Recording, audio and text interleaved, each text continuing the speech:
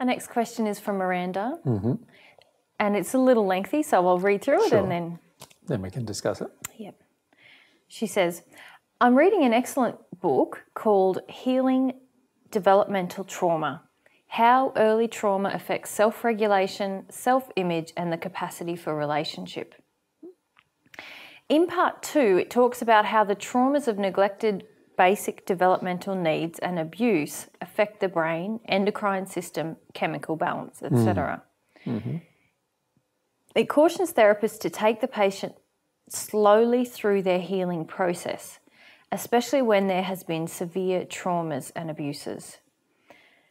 From what I have read of in a few similar books, John Bradshaw's Homecoming included, they seem to be missing a point between understanding how the soul damage is created and the healing, mm-hmm. or so how the healing takes place. Mm-hmm.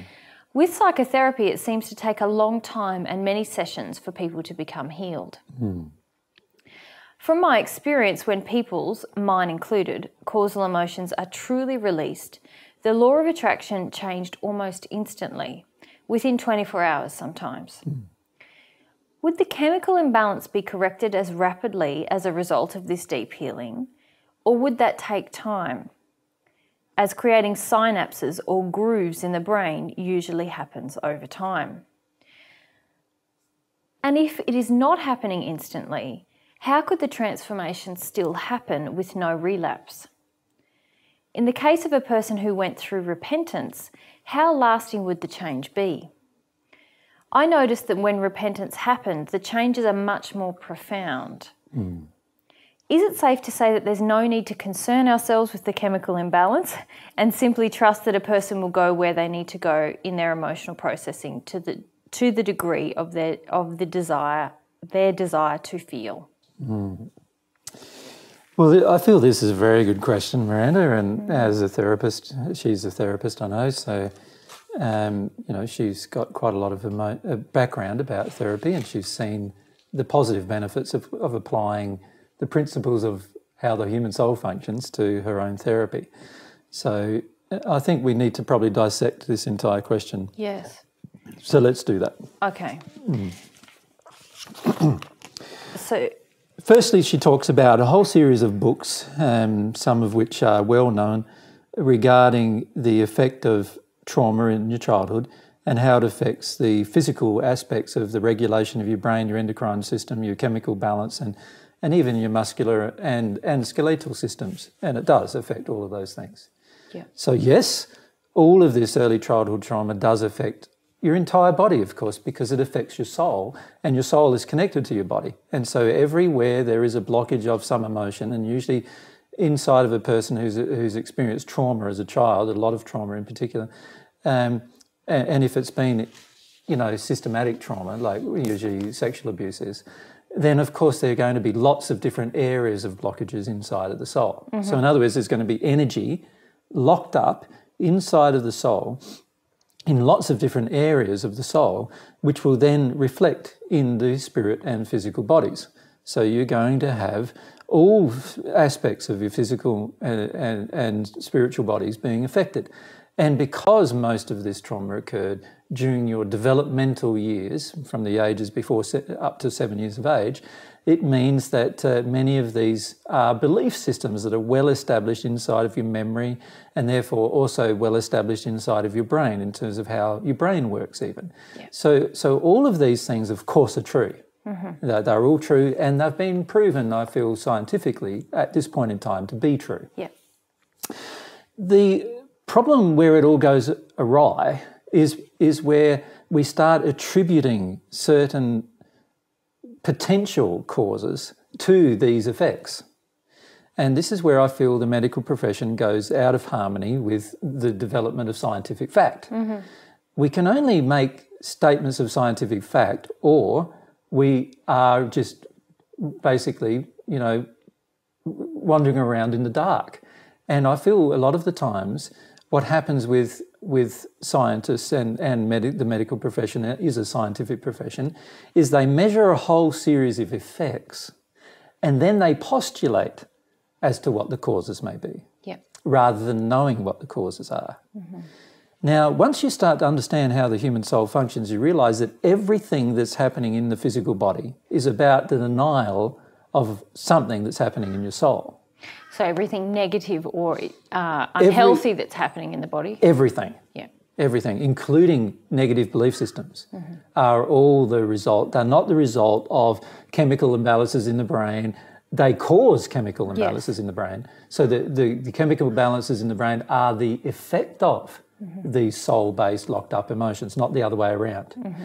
And these soul based locked up emotions cause physical problems in the body, they cause also physical problems in the spirit body. They cause problems with the flow of energy, and anybody who's used to any kind of Eastern or Chinese type of medicine would know that, that emotions prevent the flow of certain spirit that they can see in the spirit body prevent the flow of energy in the material body. So therefore, the material body gets affected by, and therefore not only affected by, but but unfortunately harmed by the locked up emotions. Now, they also know many people in Eastern uh, medical professions know that there is also the attraction of entities. They call them entities, not mm. spirits, people, but they call them entities from what they call other worlds or whatever, but really they're just spirits who are attracted to these particular injuries, who also exacerbate the problem for the person who's gone through these particular traumas. And many times these people have, have influenced the people on earth, many these spirits have influenced the people on earth during the developmental years of their, of their life. And that, of course, also then means that they are greatly influencing the flow of energy in their body as well. Yeah. So we have all of these combined issues and problems. Mm-hmm. Now, now, to then assume that we must go slowly and be careful and all of these other presumptions, there, there's now no scientific evidence for those presumptions, right? There, are, there is a lot of anecdotal evidence because most people who have had trauma during their childhood experience have a lot of deep resistance to experiencing the emotion. Most people who experience childhood trauma want there to be another solution other than feeling their childhood trauma based emotions. Yep. So they are in a mode already where they want to avoid the experience of these emotions. Since they want to avoid the experience of these emotions, they often are overcloaked or influenced by spirits during the processing of these emotions. As a result, the therapist measures that avoidance through the, the, the, psychotic, if you like, episode that the person who's going through the emotion might have experienced, and the therapist becomes very concerned and therefore says we need to be very, very careful, we need to take it very slow. But that's without a complete understanding of what's going on. Mm-hmm. And unfortunately, there are no scientific or psychological journals on the planet today that actually know what's going on mm-hmm. in complete in, in, in a, in a holistic picture yeah. of what's going on, particularly for early developmental trauma, mm-hmm. but for all forms of trauma actually.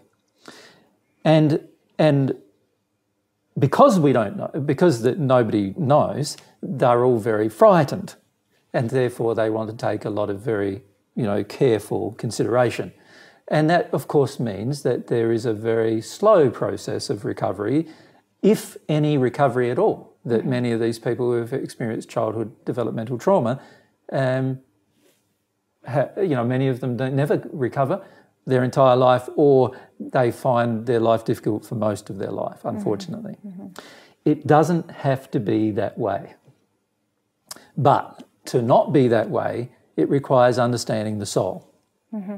And this is where I feel every single person who's in thera- who's doing therapy needs to understand how the human soul functions. And mm-hmm. we've pointed people all the way through these discussions about emotions.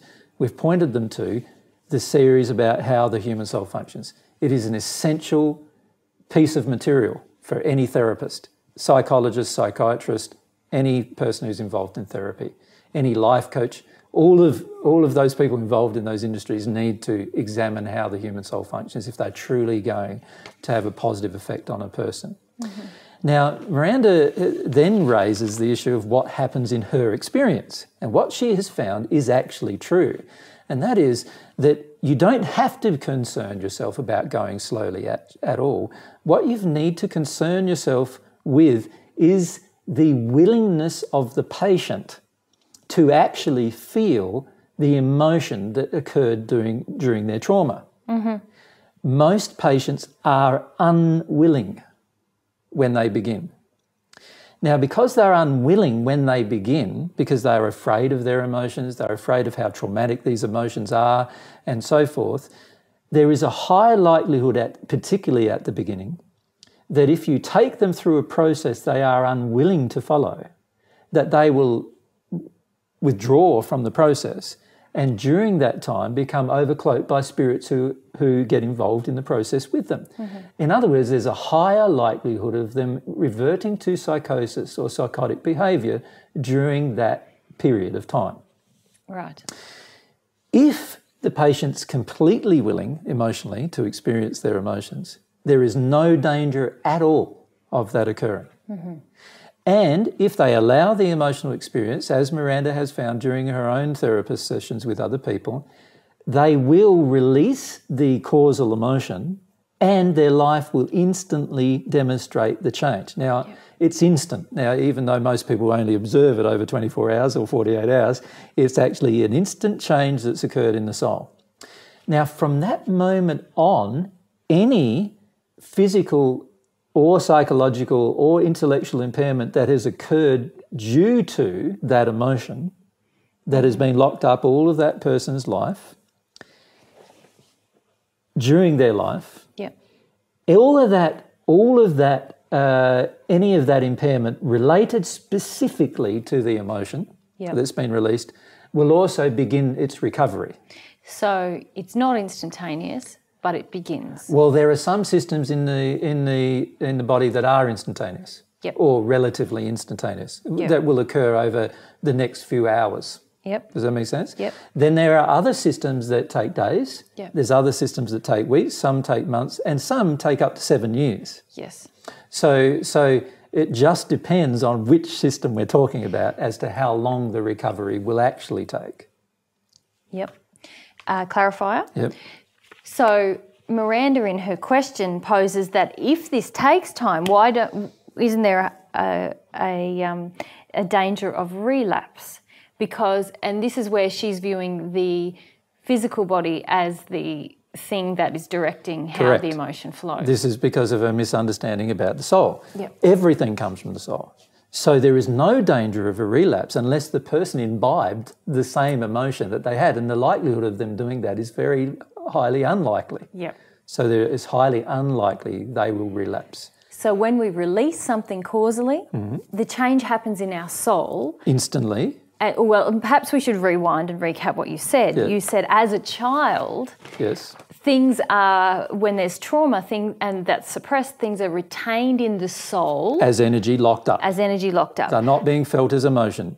Yep. They're just energy locked up, not in motion. And this affects the spirit body and the physical body. Yes. So the cause of any issue yes. is in the soul, and yes. that's reflected in the spirit and physical body. So Correct. these things that she's talking about about the endocrinologic Endo- endocrine system, system the, um, chemical balances in the brain, the synapses in the brain, the, the way you think. The way the, you think, even, is completely changed. The formation of the, the formation brain. of your cells, the damage done to each individual cell in different locations, the different problems you have in different parts of your body.